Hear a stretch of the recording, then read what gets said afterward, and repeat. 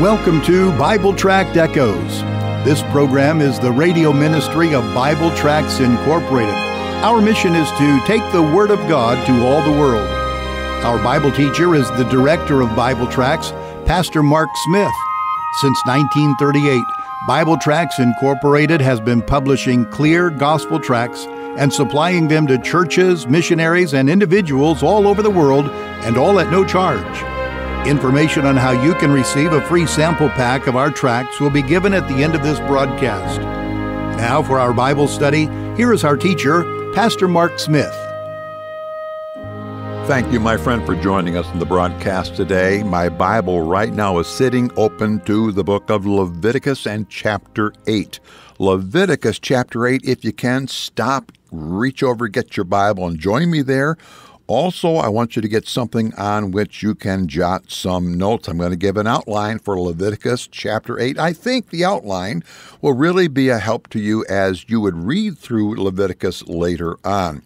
Leviticus, please, chapter 8.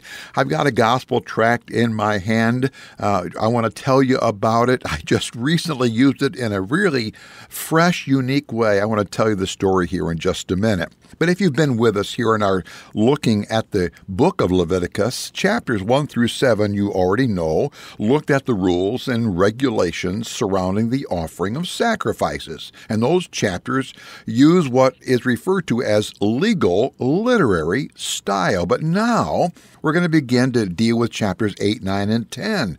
Now we're going to have a switch. We're going to use a narrative style, and most of us like narrative because we like stories.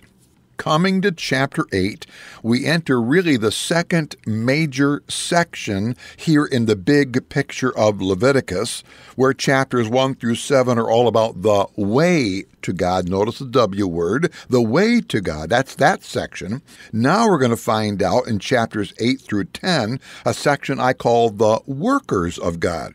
Chapters 1 to 7, the way to God. Chapters 8, 9, and 10, the workers of God. They're going to deal with the priests. Now, to worship God, you need to have the right offering. That's what chapters 1 through 7 are all about. But you also need the right priest. That's what chapters 8, 9, and 10 deal with. Obviously, Jesus Christ is our high priest. Through his mediatory, his go between work, we can come before God.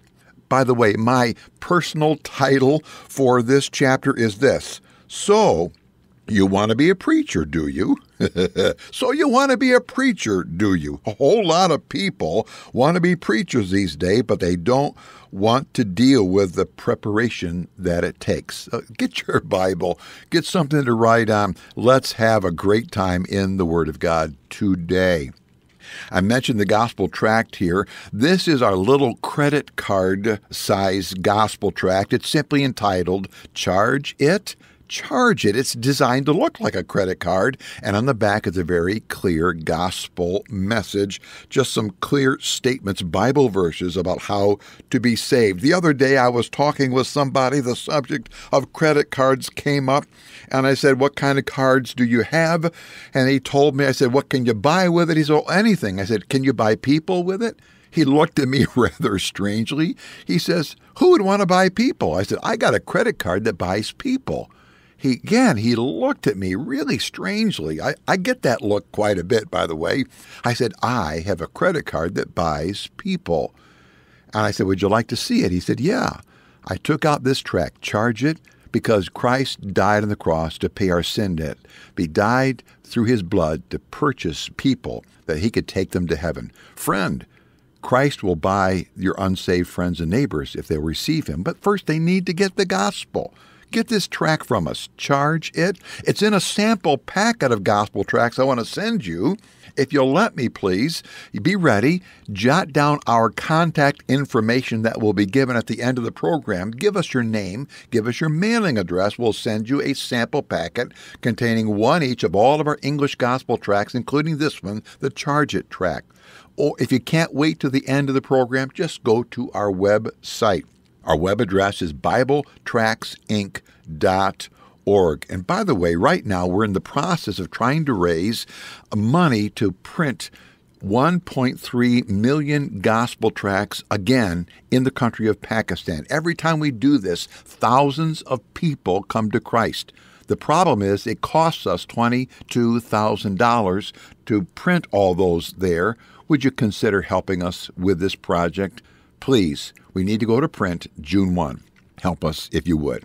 If your Bible's open to the book of Leviticus, chapter 8, verse 1 says this And the Lord spake unto Moses, saying, Take Aaron and his sons with him, and the garments, and the anointing oil, and the bullock for the sin offering, and two rams, and a basket of unleavened bread, and gather thou all the congregation together at the door of the tabernacle of the congregation.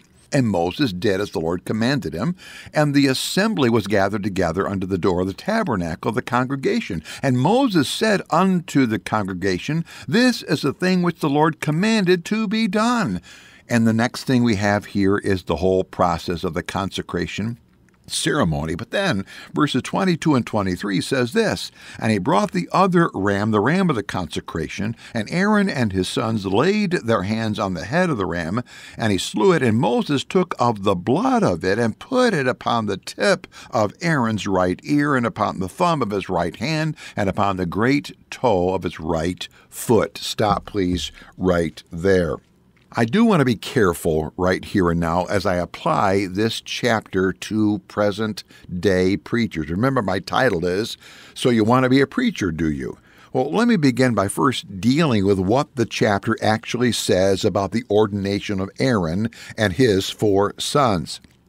Chapter 8 is all about the consecration of the priests. And for my use, I have divided the chapter into four parts. Here they are.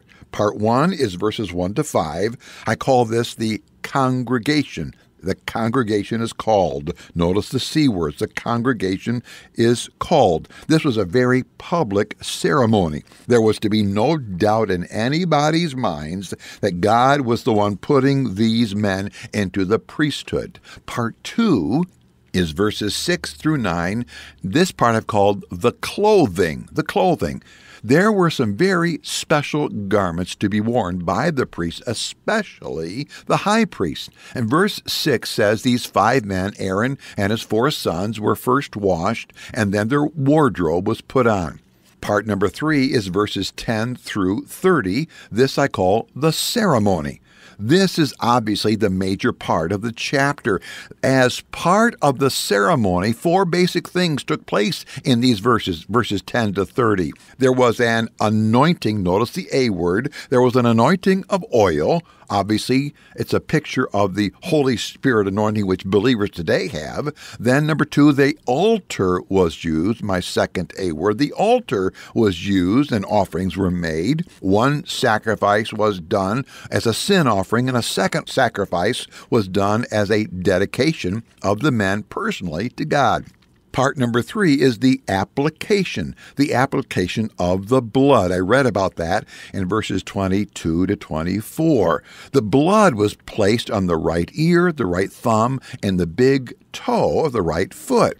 This really is worth noting the priest was to always listen to God, that's the ear. The priest was to use his hands to discharge his duties for God, and the priest was to walk carefully and circumspectly in his life for God. Wow, there's a three part sermon for you right there. The fourth part, the fourth word beginning with the letter A, is the actions that the priests were to do, verses 25 to 30. All right, I'm coming back here because I come now to my final section. My C word here, verses 31 to 36, is this the campout. The campout. Yes, that's the right word. You see, verse 7 days, Aaron and his four sons had to stay at the tabernacle. Now, Jewish scholars think they believe that the ceremony seen in verses 10 to 30 was repeated each of those seven days as the priests were there. As the people watched and as the priest went through this ceremony, they all must have been struck with a really critical role that these five men were going to play. Not just these five men, but their descendants as well. All right. I've walked through the highlights of the chapter as it relates to the original priest. But, beloved, all born again people are believer priests. We're told that in 1 Peter. We've all been called to offer sacrifices to God. So there are applications that we can make here for all of us. I, though, want to be careful and apply Leviticus 8 to present day preachers guys like me, guys like pastors and missionaries and the like. Now, let me begin by saying that the whole camp of Israel knew beyond a shadow of a doubt that these five men were called to a special work of God preachers today ought to be those whom others recognize that God's hand and call is upon them. Beloved, if God has called a person to do the work of the gospel as a life vocation, trust me, others are going to see the call of God on his life. For time's sake here, let me just highlight just one more thing. Those called by God had better live with the blood on their ear, the blood on their thumb, and the blood on their big toe. Oh, not literally, but figuratively. Preachers need to be those who listen to God, who do the work of God, and not just talk about it, and then walk the walk of a consecrated man of God. A friend, if you think God has called you to gospel ministry as a vocational ministry, don't go tell anybody. Instead, start doing something with the gospel. Get some tracts from us and start doing some gospel work while you're going through your day to day routine, whatever your job presently is. If you're a high school student, start doing it there in high school. If you're a man on the job, start doing it there. Go to your pastor and say, is there a nursing home I can preach in? Is there some place? Is there a Sunday school class I can teach? Let people recognize the call of God on your life because of the fruits from your labor, not because you tell them. There's an old saying from the olden days the proof of the pudding is in the eating. You've heard that phrase. People will know I'm called. People will know if you're called by the proof from your life. That being said, let me talk a moment to those who are listening today who have no proof in their life that Jesus Christ is their Savior. Oh, you talk about Jesus. You go to church. You are very faithful. You do religious stuff, and you're a moral person. Wonderful. Being a moral, church going person can be a great thing for society, but it doesn't cut the mustard when it comes for you getting into heaven. Is there any evidence in your soul, any evidence in your life that Jesus Christ has saved you from your sin? Friend, I will know a believer when I see them. I can't see the heart, Jesus can. Only God can be the final judge. But you know what? When I spot somebody who's living the Christ life in the strength and power of God, because the new birth is a real, genuine thing, I say there is a brother, there's a sister in Christ. If you've never received Christ as your personal Savior, do it now. Thank you for joining us today for Bible Tract Echoes. If you would like to receive a free sample packet of our tracts, you can contact us by calling 309 828 6888.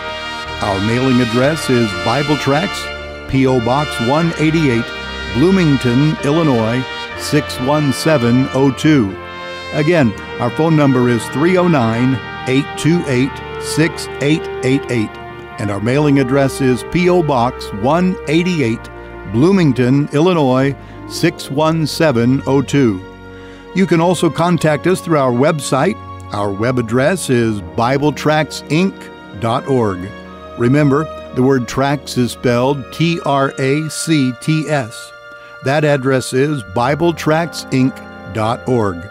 May the Lord richly bless you as you serve Him.